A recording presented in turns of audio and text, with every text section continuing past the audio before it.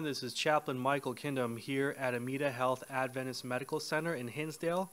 Thank you so much for joining us today with our weekly chapel. Glad you could join us. And before we start with today's talk, I'd like to take a moment to hear from our friend Victor Moreno.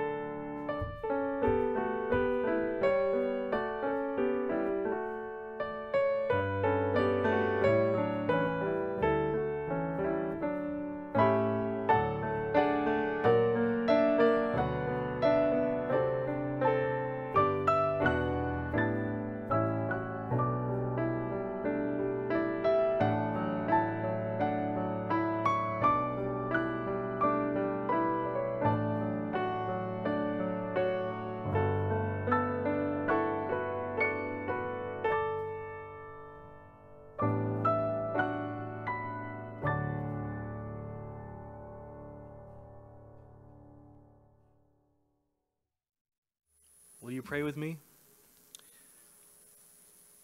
Our kind and gracious Heavenly Father, we thank you so very much for this Thanksgiving season whereby we can count our blessings and remember just how much you've been so good to us and how far we have come this past year.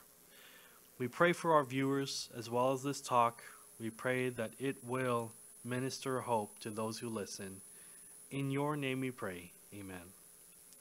Well, thanks again for joining us today with our, with our weekly chapel.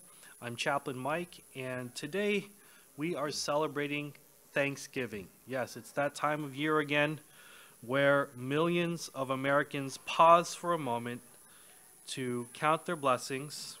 In practice, for many of us, it's a time to skip work, eat too much, and maybe watch lots of sports. But it is a time to count our blessings. And I'd like to share with you some quotes on gratitude, and I hope that these quotes speak to you.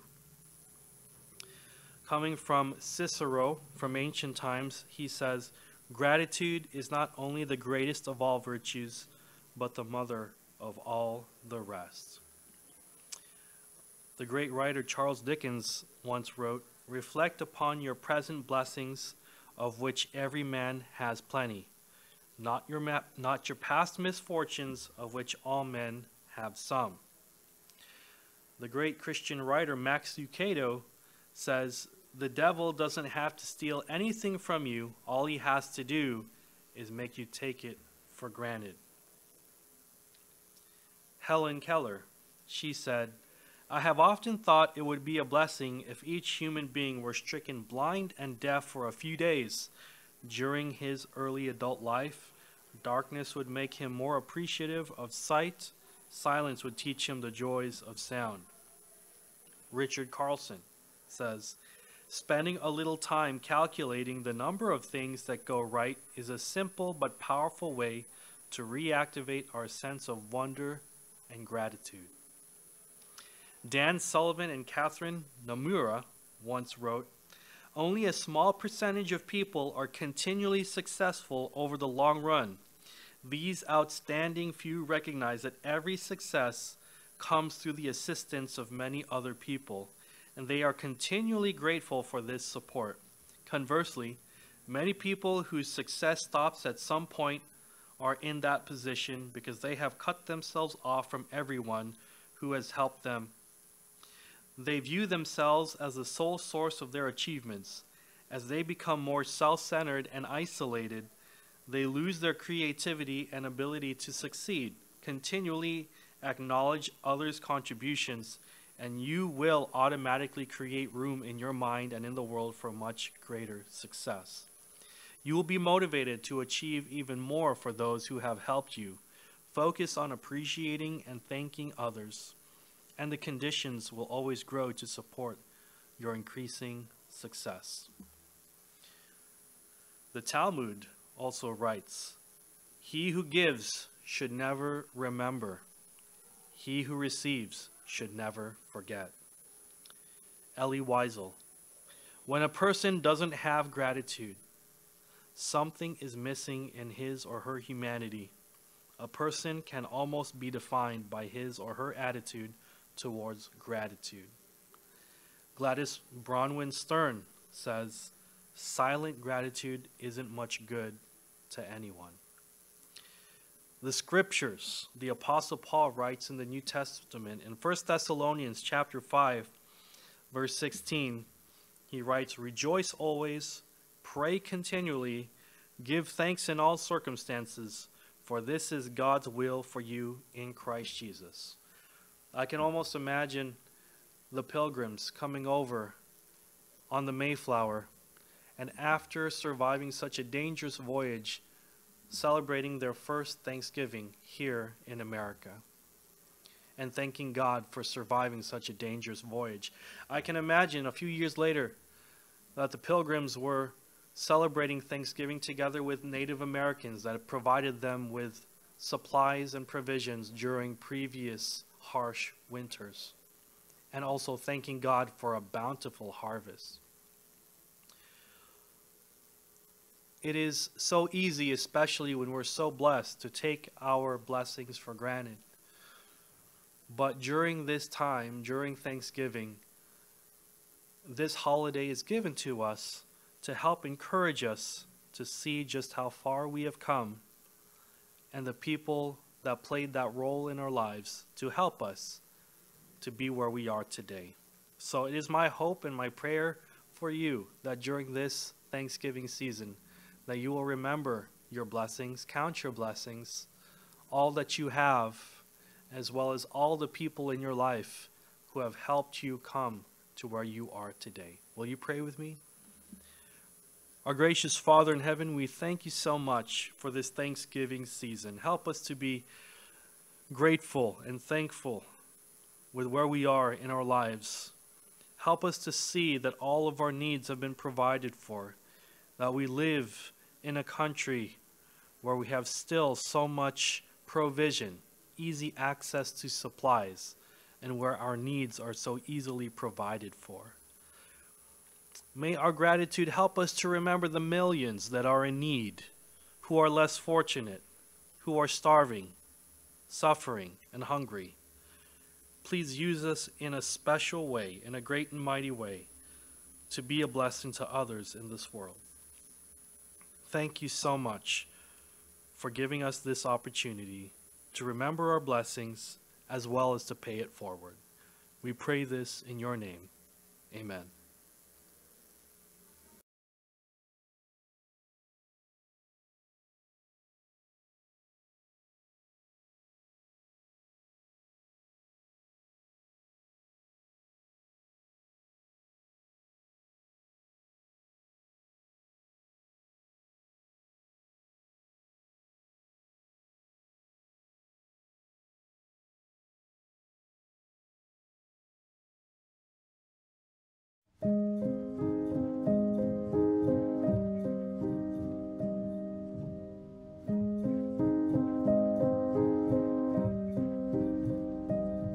So let's talk about this space that we're calling the land between. It's this desert space in life where we feel like we're trudging across a wilderness. And one of the characteristics that's typical of the land between is this monotonous sameness. You know what I'm talking about here? When you awaken to very similar challenges day after day after day, you find yourself having the same challenging conversation with the same challenging teenager. You find yourself once again climbing in a car to yet again drive to a medical center to undergo yet another round of tests. And in that space, our hearts can really be in danger if we give them over to a spirit of complaint. You see, you would think that nothing much would grow in the desert, but the land between, it's fertile ground for complaint. Now, in the early pages of our Bible, we're following a group of people, the Israelites. They leave slavery in Egypt, they're headed to the land of promise, but they are in the desert, in the wilderness, that land between Egypt and Canaan. And if my math is right, they've been there for about two years in the episode I want to read from today. And for two years, they have been eating this food substance called manna breakfast, lunch, and dinner. And they are sick of this stuff. So uh, let me read a couple verses to you. And these verses, I think you only read them correctly if you read them with a whiny voice. So here we go. If only we had meat to eat. Oh, we remember the fish we had in Egypt at no cost. Also the cucumbers, the melons, the leeks. Oh, the onions and the garlic. But now we've lost our appetite. We never see anything but this manna. They are sick of this food. And this riotous voice rises from their campground. We're sick of this stuff. And I just know that so many of us can find ourselves in that space. I'm sick of this. I'm sick of this. Jeff, we're sick of living in our in law's basement. I'm sick of getting to the end of the month and having to decide which bills to pay and which bills not to pay. I'm sick of medical test after medical test and still not having a clear diagnosis. I- am sick of it. I'm sick of going to bed at night and not knowing where my 17 year old is. I'm sick of driving to a retirement home and having my mother ask yet again who I am. I'm sick of this. You know, uh, personally, when I'm going through a challenging season, I don't have to invite complaint to show up. It's like it shows up automatically. I pull into my driveway after a very disappointing day to discover that Complaint has moved into the guest room, unloaded its luggage, is running a load of laundry, and is looking through my refrigerator for something to eat. And something about Complaint, it, uh, it resists eviction. I think one way to try to evict complaint from our life is to invite another house guest. And that guest, I just want to call it trust. That, that as complaint tries to move in, it discovers that trust is already occupying the guest room and is also sitting at the empty seat at my dining room table. You see, trust evicts complaint. I think one of the most powerful prayers that, that we can ever pray when we're traveling through the land between is just the simple prayer that goes something like this God, I don't like this space. I don't want this space. I don't even understand this space. But I will trust you in this space. Let me challenge you today to invite trust, to evict a spirit of complaint.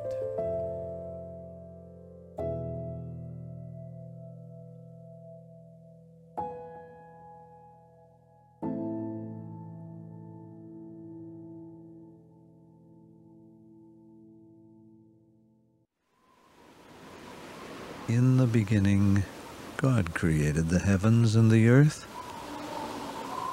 The earth was without form and void, darkness was on the face of the deep, and the Spirit of God was hovering over the face of the deep.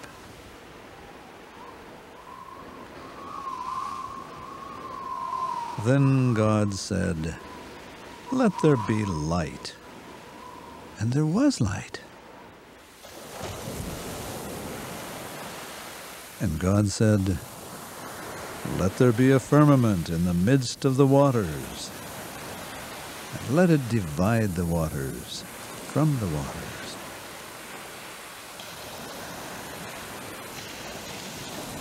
God said, Let the waters under the heavens be gathered together into one place, and let the dry land appear. And God called the dry land earth, and the waters he called seas. Then God said, Let the earth bring forth grass, the herb that yields seed, and the fruit tree that yields fruit, according to its kind, whose seed is in itself. God said, Let there be lights in the firmament of the heavens to divide the day from the night, and let them be for signs and seasons, and for days and years. Then God said, Let the waters abound with an abundance of living creatures, and let birds fly above the earth across the face of the firmament of the heavens. God said, Let the earth bring forth the living creature, according to its kind, cattle, creeping things, and beasts of the earth, each according to its kind. Then God said, Let us make man in our image, according to our likeness. Let them have dominion over the fish of the sea, over the birds of the air, and over the cattle over all the earth. God saw everything that he had made and indeed it was very good. So the evening and the morning were the sixth day. And on the seventh day, God ended his work which he had done, and he rested on the seventh day from all his work.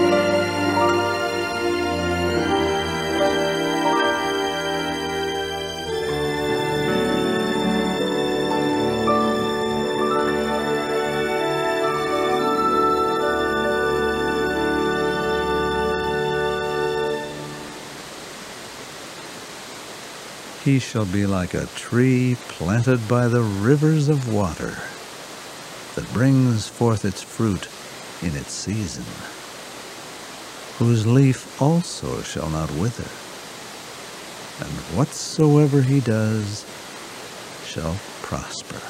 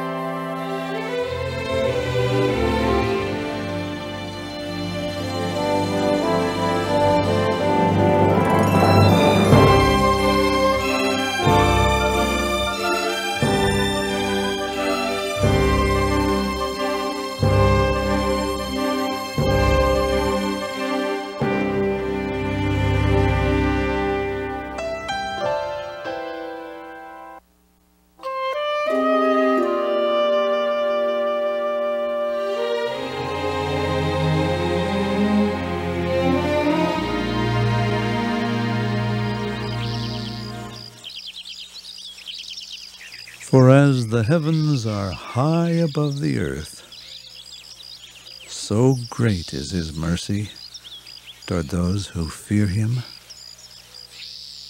As far as the east is from the west, so far has he removed our transgressions from us.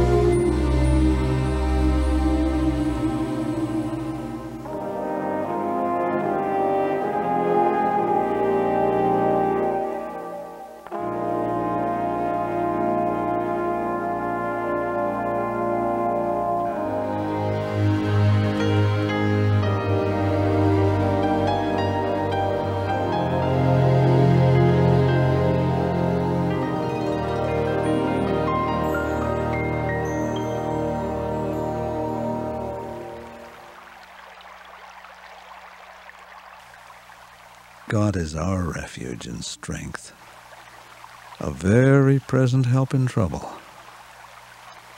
Therefore, we will not fear, even though the earth be removed, and though the mountains be carried into the midst of the sea.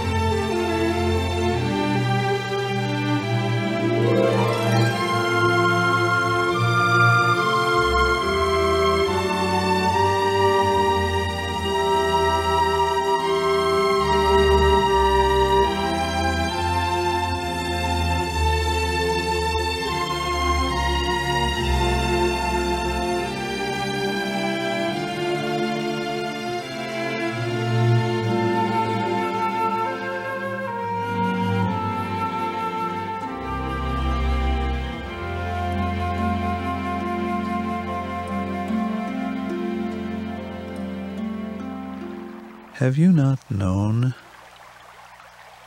Have you not heard the everlasting God, the Lord, the Creator of the ends of the earth? Neither faints nor is weary.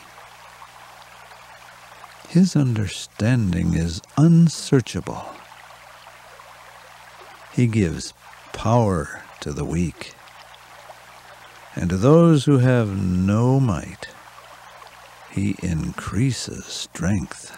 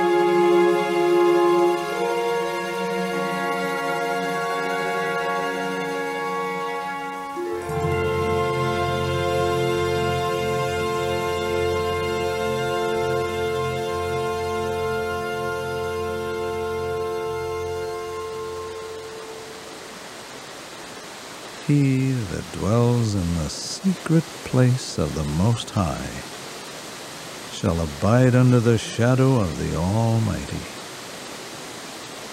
I will say of the Lord, He's my refuge and my fortress.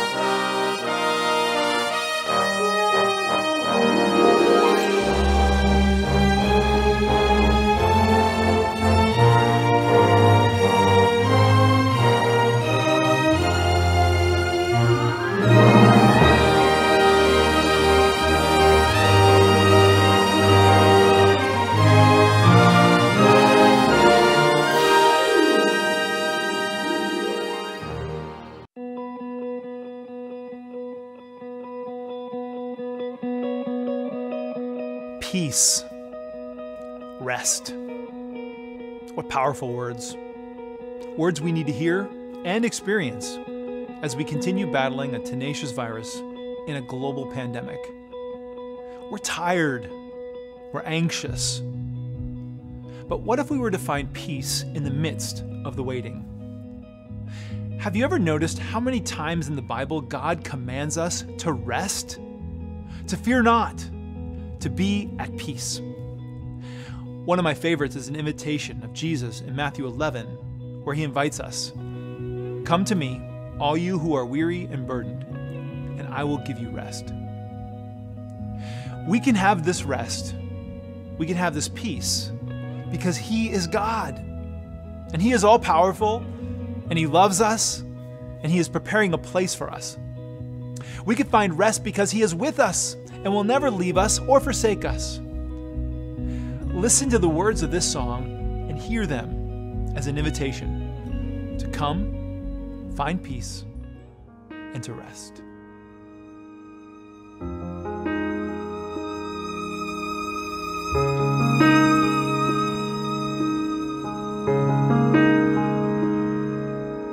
In the quiet of the morning when the dew is freshly fallen, I can feel your presence calling out to me. Telling me how much you love me as the sun comes shining through. I'm so thankful to have one more day from you. And it's moments like these when I fall to my knees and pray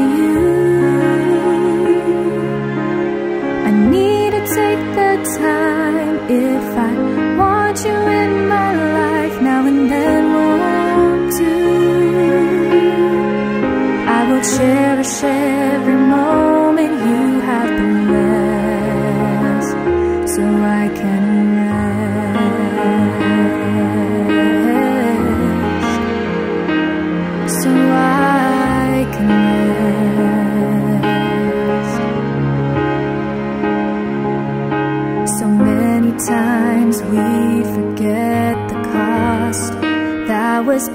to set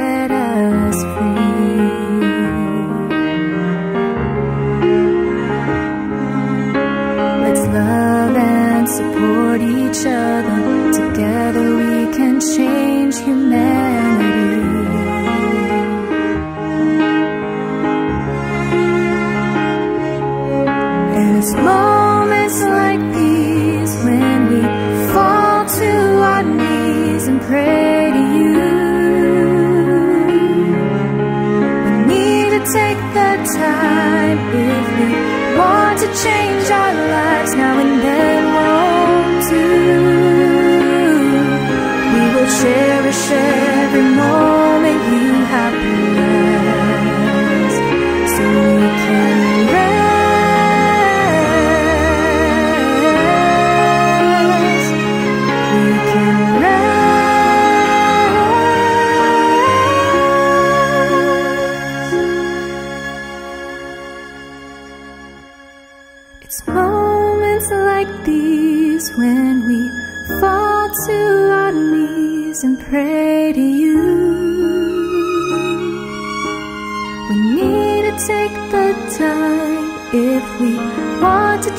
change our lives now and then, won't you? We will cherish every moment you have blessed. Yes, I'll cherish every moment you have blessed. Oh, we'll cherish every moment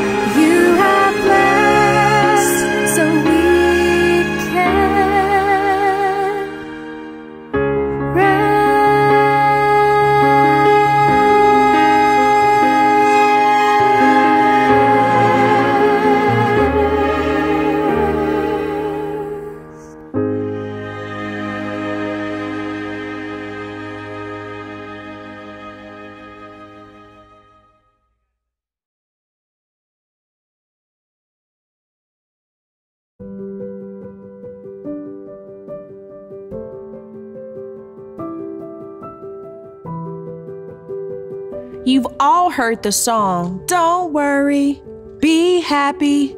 But as much as I want to feel that way, I have to admit sometimes I'm anxious. Anxiety starts small and builds, eventually coming to a peak of intense emotion. It's at this peak that feelings can be most overwhelming. So I was taught at a very young age don't wear your emotions on your sleeve. In other words, don't let people see how you're really feeling. Typically, this was the response to my tears or when I shared my honest feelings. While the counsel was intended to protect me, it had a way of trivializing what I felt, as if my emotions were not relevant or that I should not be feeling the way I did. I grew up believing that true strength was in appearing strong. You see, though I can appear outwardly calm and collected, internally I struggle with anxiety. This can show up in various ways nervous chatter, repetitive sentences, and headaches by the end of my day. Like me, you might have learned to put on two faces one everyone sees, and the one that's the real you. One of my favorite Bible verses has helped me manage anxiety God is near. Do not be anxious about anything, but pray about everything with thanksgiving and present your request to God. Here are just a few steps inspired by this counsel that have helped me. Take a deep breath. Pause. This creates space for what you feel. Slowing down, although uncomfortable sometimes, allows you to connect and be real. Know your triggers. When and where do you feel anxious? What is happening when the anxiety begins to build? Understanding this helps you prepare strategies to deal with anxiety before it peaks. Move your body. Your body and your mind are connected, and exercise can boost your well being. Get enough rest. Sleep is essential for both physical and mental health. Talk to a mental health specialist. Check out the resources available through your work or health plan. Share your feelings with God. Turn to Him. Be open and real, praying vulnerably, meaning being honest with God. It's okay to be angry or scared. Today, seek peace in knowing God cares for you, and trust your life and outcomes to Him.